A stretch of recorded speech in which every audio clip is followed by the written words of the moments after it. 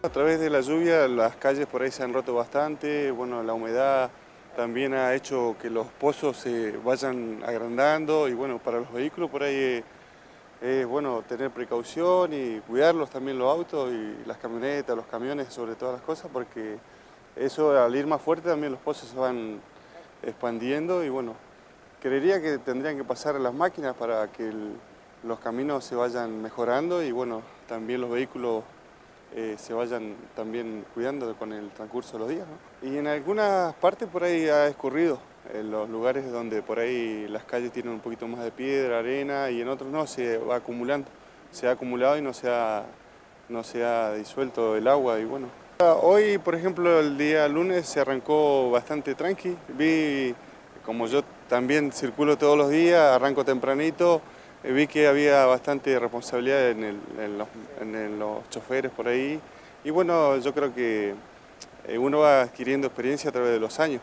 Yo por ahí siempre, bueno, a través de los cursos que he hecho y de manejo de todo, uno trata de evitar que sea una colisión, un choque.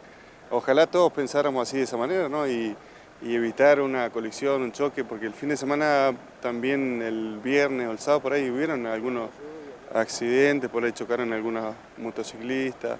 Y bueno, hay que andar tranqui, bueno, sabemos que urbano es 40. A veces no se respeta, eh, por ahí se dificulta pasar eh, de, una calle a otra porque vienen bastante rápido y, al venir a 60, por ahí no es lo mismo venir a 40 que 60 y por ahí, eh, bueno, los accidentes pasan así de esa manera también porque no respetan los límites de velocidad. Yo me acuerdo que cuando se le llenó la casa a mi hermano al otro lado, la acá, acá legalmente llegó a la casilla aquella que está allá. Y no llegó más. Que todos me decían, tenés cuidado, no, ¿qué va a subir esa loma? No, no, nunca sube. Y lo que pasa es que la gente tiene miedo.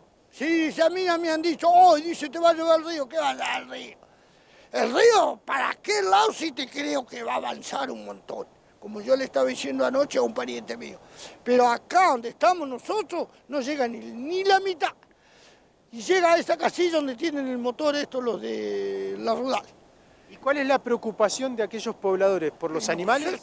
Y el, año, el anteaño, ese año que creció, sacaron algunos, ¿viste? Sacaron a mi hermano, sacaron varias familias. O sea, se tuvieron que evacuar.